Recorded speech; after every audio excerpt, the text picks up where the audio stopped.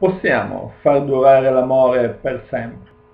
Certo che possiamo, perché l'amore fa parte del senza tempo, è al di fuori del tempo e al di fuori dello spazio.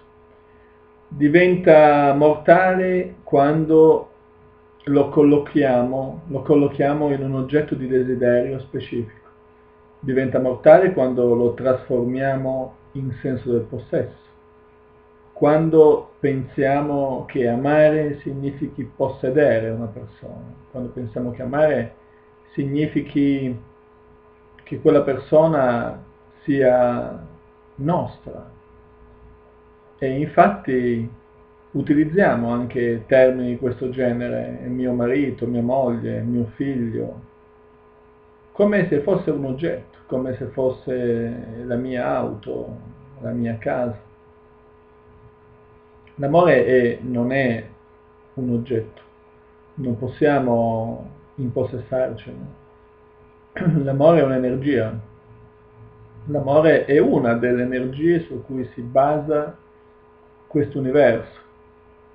Non è l'unica, ma è una delle energie su cui si basa questo universo.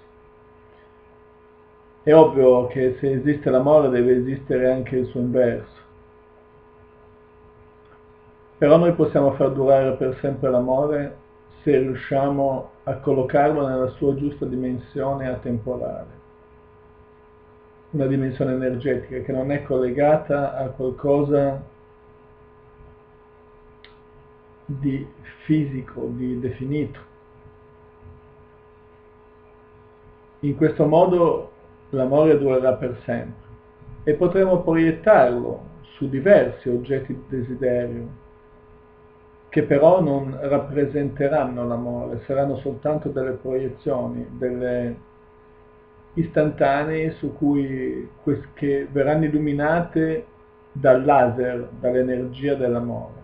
Ecco, l'energia dell'amore può illuminare, può illuminare degli oggetti di desiderio, può anche illuminare noi stessi e consentirci di vivere delle esperienze, perché l'amore ci trasforma, ci cambia, ci consente di fare nuove esperienze ci consente di trasformare la realtà. L'amore direi che è il più grande trasformatore di realtà che esiste, perché muta proprio i paradigmi della realtà stessa e ci consente di entrare in contatto con la nostra anima e con l'anima delle persone, degli esseri che ci circondano, non soltanto persone, degli esseri che ci circondano.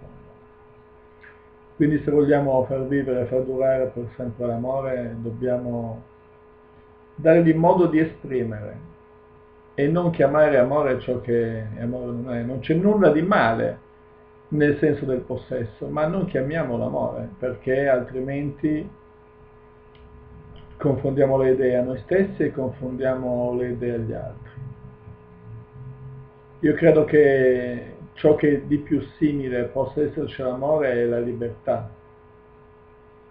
E ciò che più di lontano ci può essere dall'amore è il possesso, il senso del possesso e la gelosia.